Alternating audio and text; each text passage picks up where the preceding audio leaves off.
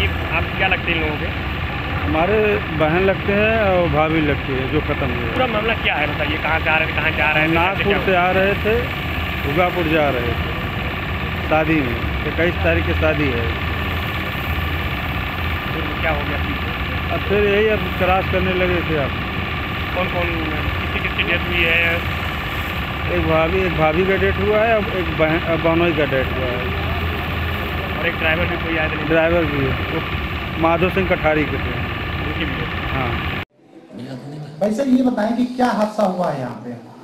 ये आज सुबह करीब पाँच पाँच पचपन पाँच सत्तावन पर ट्रेन जो है ज़ीरो पच्चीस चौरासी झारखंड स्वर्ण जयंती जिसका स्टॉपेज यहाँ नहीं है सुबह उस गाड़ी से रेलवे पटरी पार करते समय तीन लोग उसकी चपेट में आ गए उनकी डेथ हो गई मौके पे।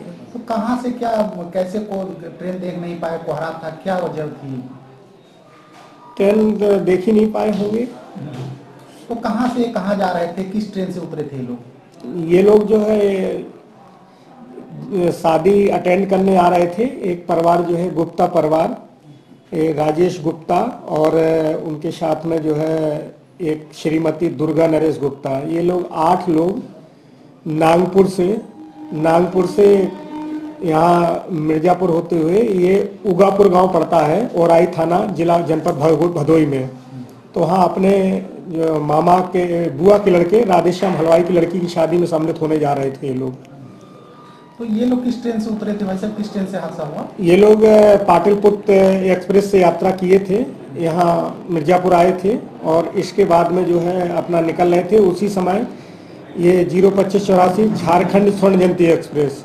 उसका निकलना हुआ और उसकी चपेट में ये लोग आ गए। तो ये बताएँ कि ये इसमें मृतकों में कौन कौन से हैं तीन लोगों में? मृतकों में जो शादी अटेंड करने आ रहे थे शादी में सम्मिलित होने आ रहे थे आठ लोग आ रहे थे। दो लोग उसमें से श्रीमती दुर्गा नरेश गुप्ता एवं अड़तालीस उम्र है इनका। और दूसरा एक राजेश गुप्ता पुत्र दुर्गा प्रसाद गुप्ता इनका 53 करीब एज है। और तीसरा जो, जिनके यहाँ शादी में जा रहे थे, वो स्कॉर्पियो गाड़ी से लेने आए थे। तो जिनका स्कॉर्पियो थी बबलू सिंह, वो इनका सामान लेकर के इनके साथ ही में निकल रहे थे।